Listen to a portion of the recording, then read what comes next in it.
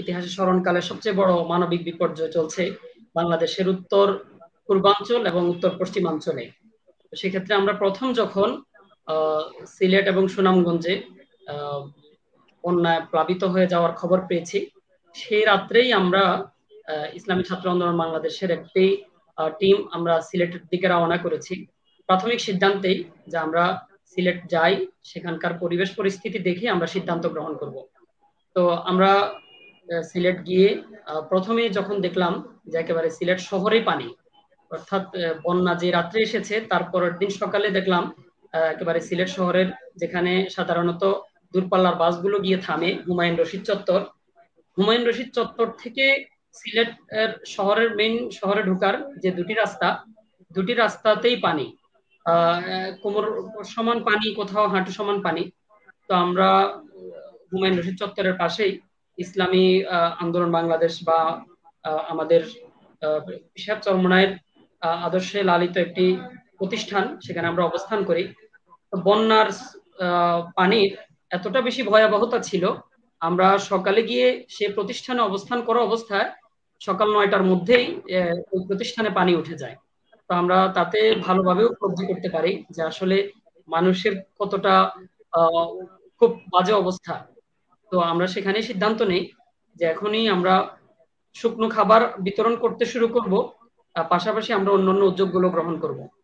তো সেই ক্ষেত্রে আমাদের ঢাকায় কেন্দ্রীয় সহসভাপতি সেক্রেটারি জেনারেল ছিলেন এবং কেন্দ্রীয় অন্যান্য দায়িত্বশীল বৃন্দ ছিলেন।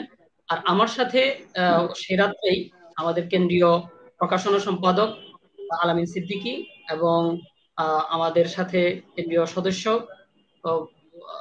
মাহবুব নাহিয়ান এবং কেন্দ্রীয় সাহিত্য সংস্কৃতি সম্পাদক সুলতান মাহমুদ, আমরা চারজন সেখানে চলে যাই। তো আমরা এভাবে করে আমরা কয়েকটি টিম করি। একটি হচ্ছে বানভাসী মানুষের জন্য আমরা দুর্যোগকালীন সহায়তা টিম আরেকটি হচ্ছে রেস্কিউ টিম অর্থাৎ যারা উদ্ধার কার্য পরিচালনা করবে এবং যে সমস্ত রাস্তাঘাট ভেঙে গেছে, সে সমস্ত রাস্তাঘাট সেগুলো মেরামত করবে। পাশাপাশি বন্যা পরবর্তী সময়ে যে সমস্ত মানুষের ঘর বাড়ি বন্যায় ভেঙে নিয়ে গেছে, সে সমস্ত মানুষদেরকে পুনর্বাস পুনর্বাসন করা, তাদের ঘর বাড়ি মেরামত করা, তাদের গবাদি পশু নষ্ট হয়েছে মারা গিয়েছে, সে সমস্ত মানুষদেরকে গবাদি পশু ক্ষেত্রে, লালন পালনের ক্ষেত্রে সহযোগিতা করা। এরকম বিভিন্ন টিম আমরা করে ফেলি পরবর্তী একদিনের মধ্যেই। তো আমরা সিলেট আমি তো প্রথম দিনই গিয়েছি। আমার সাথে যে টিমটি ছিল, আমরা প্রথম দিন সিলেট শহর শহর এলাকার বেশ কয়েকটি জায়গায় আমাদের এর আগের দিন রাত্র থেকেই ইসলামী ছাত্র আন্দোলন বাংলাদেশের সিলেট জেলা এবং মহানগর, তারা উদ্ধার কার্য পরিচালনায় ছিল।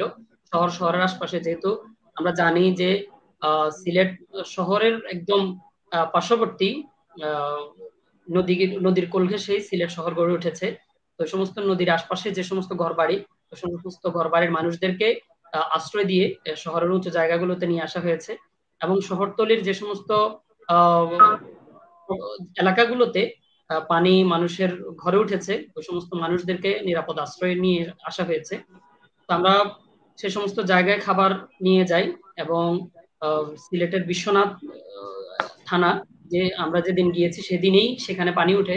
আমরা সেদিন সন্ধ্যা নাগাদ বিশ্বনাথের একেবারে প্রায় প্রত্যেকটা এলাকায় আমরা ছুটে যাই এবং পরের দিন আমরা সিলেটের জৈন্তাপুর, জৈন্তাপুরের যাওয়ার পথে প্রথমত হরিপুর তারপর জৈন্তাপুর সেখানে আমরা খাবার নিয়ে যাই এবং তারপরের দিন সিলেটের কোম্পানিগঞ্জ কোম্পানিগঞ্জ এলাকায় আমরা খাবার নিয়ে যাই এবং কোম্পানিগঞ্জ থেকে আমরা সুনামগঞ্জের ছাতক ইঞ্জিন নৌকা যোগে সেখানে যাওয়াটা সহজ, তুলনামূলক এই সমস্ত জায়গাগুলোতে আমরা যাই।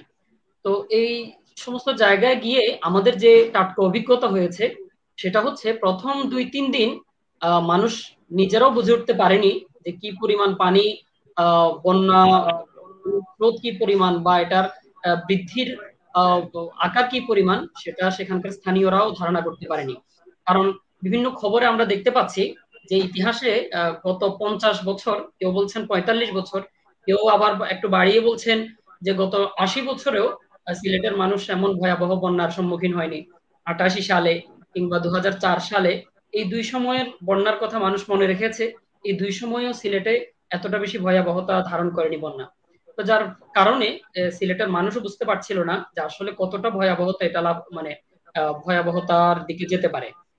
তো আমরা দ্বিতীয় এবং তৃতীয় দিন যেটি দেখেছি যে অনেকগুলো স্বেচ্ছাসেবী সংগঠন এবং অনেকগুলো রাজনৈতিক সংগঠন এবং ওলামাই কেরামের অনেকগুলো ব্যক্তি উদ্যোগ এবং বিভিন্ন সংস্থা দেশি বিদেশি আলহামদুলিল্লাহ প্রচুর পরিমাণে সিলেটের বানভাসী মানুষের জন্য তারা অর্থ গবেষণা করেছেন এবং কেউ কেউ অর্থ কালেকশনের আগেই সিদ্ধান্ত নিয়ে মাঠে নেমেছেন।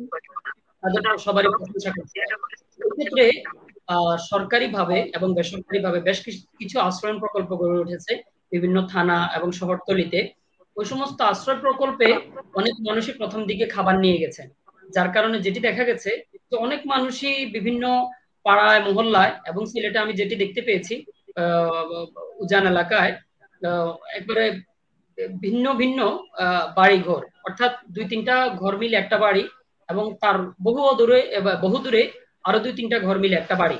এভাবে করে যখন হাওড় অঞ্চলে পানি উঠে যায়, তখন মনে হচ্ছে যেন মানে সাগরের উপর কিংবা নদীর উপর বিভিন্ন বাড়িঘর ভাসতেছে। তো ওই সমস্ত বাড়িঘরে যাওয়াটা ছিল তখন যখন পানি অনেক বেশি এবং প্রথম দিকে নৌকা ভাড়া করতে পাওয়া যাচ্ছিল না এবং সিলেট শহরে বেশি পরিমাণে পানি বিভিন্ন গাড়ি চলতে চাচ্ছিল না এবং সিএনজি চলছিল না পিক চলছিল না। আমরা প্রথম দিন আমাদের অভিজ্ঞতাটা একটু দুঃসহ অভিজ্ঞতা। আমরা কয়েকটি রিক্সায় করে আমাদের মালামালগুলো উঠে উঠে, উঠিয়ে বেশ অনেক দূরে দূরে রিক্সায় করে আমরা মালামাল পার করেছি। রিক্সার দেখা গেছে যে কিছু রিক্সার আমাদের একবার মালামাল পর্যন্ত, প্রায় মাঝামাঝি পর্যন্ত রিক্সা পানি ছিল। আমরা সেগুলোতে করে নিয়ে গেছি এবং আমরা নিজেরা প্রথম দিন প্রায় বিশ কিলোর মতো আমাদেরকে হাঁটতে হয়েছে। আমরা হেঁটে হেঁটে সে সমস্ত জায়গায় গিয়েছি। তো এই ছিল সিলেটের প্রথম দিন এবং প্রথম কয়েকদিনের অভিজ্ঞতা। তো মানুষের কথা যেটা বলছিলাম, যে মানুষও বুঝতে পারছিল না যে আসলে কি হতে পারে। যার কারণে অনেক মানুষই ক্ষতিগ্রস্ত হয়েছে এবং যারা ত্রাণ নিয়ে গিয়েছেন, ত্রাণ নিয়ে যাওয়ার পর আশ্রয়ন প্রকল্পগুলোতে অনেকে ত্রাণ পৌঁছে দিয়েছেন। কিন্তু ওই সমস্ত দূর দূরান্তে বসবাসকারী যে সমস্ত মানুষগুলো আশ্রয় কেন্দ্রে আসেনি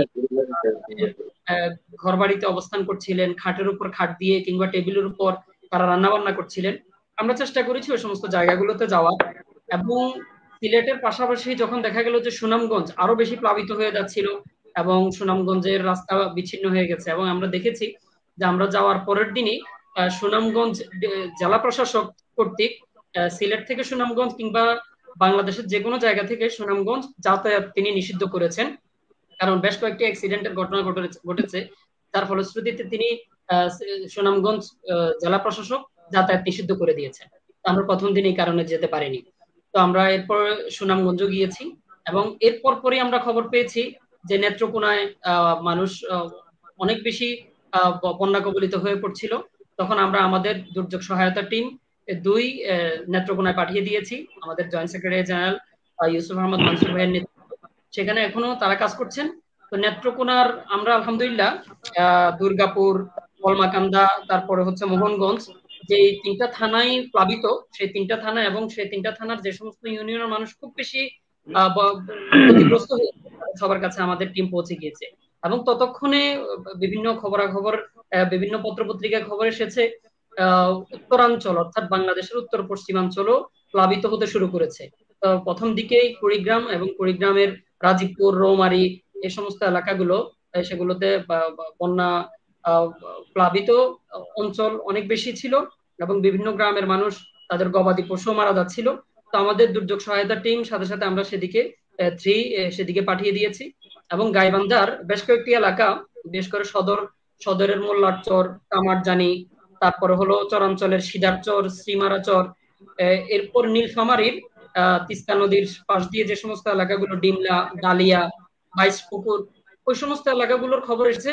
আলহামদুলিল্লাহ আমরা, আমাদের দুর্যোগ সহায়তা টিম অলরেডি চারটা হয়েছে এবং কেন্দ্রীয় দায়িত্বশীলদের তত্ত্বাবধানে নীলফামারি এবং গাইবান্ধা আছেন আমাদের কেন্দ্রীয় সাহিত্য সংস্কৃতি সম্পাদক সুলতান মাহমুদ ভাই। তার তত্ত্বাবধানে সেখানে কাজ চলছে।